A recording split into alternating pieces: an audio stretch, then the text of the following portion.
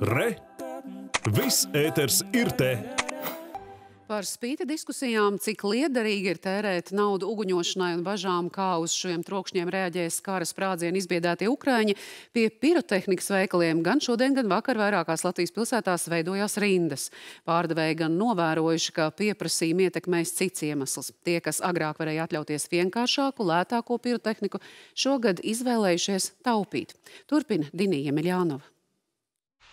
Strādāsim līdz pēdējiem pircējiem. Pie pirotehnikas veikaliem rindas veidojās gan pilsētās, kur atrastas alternatīvas svētku sajūtas radīšanai, gan pašvaldībās, kur tomēr lemts neatteikties no uguņošanas. Pārdevēji par to priecājas, jo kopumā šogad pieprasījums krities. Cilvēki ma mazākumā iet, bet li ņem lielāku preci. Tos mazākos viņi jau neņem. Jo, principā, cilvēki, kuri varēja atļauties tos pa 9 eiro ņemt, viņiem nenāks.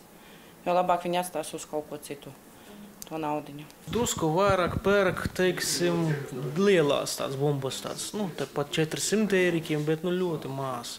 Jo pagājušajā gadā pirka kaut ko vidējo, teiksim, 50 eiriki, tā, nu, tā cenu ziņā, lai saprastu.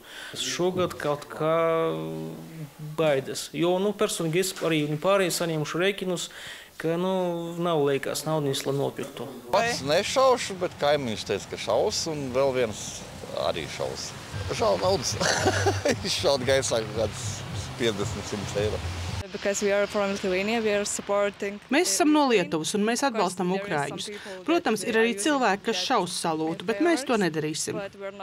Daži pie veikaliem sastaptie jaunieši tos pamet ar tukšām rokām. Lielākajai daļai preču noteikts vecuma ierobežojums. Gribās priecīgus visus svētkus nosvinēt, tad visu laiku sēžam kā cietumā visus šitos gadus, nu, to gadu, kad kamēr tas korovīrus bija. Neko nevarēja darīt. Un tagad mēs visi esam laimīgi, kad mēs varam atpūsties kā gribam ar ģimenēm, braukt ciemos, iet ciemos un, un tagad vēl salot uzšaut, tas ir ļoti jautri. Un lopiņi mums nebaidās arī no tās salot, mēs jau izmēģinājām. Lietojot pirotehniku, ugunsdzēsēji atgādina rīkoties īpaši piesardzīgi, rūpīgi ievērojot lietošanas instrukcijas. Dīnija Ģimļāneva, Māris Justs, Tenis Bikovskis, Latvijas televīzija.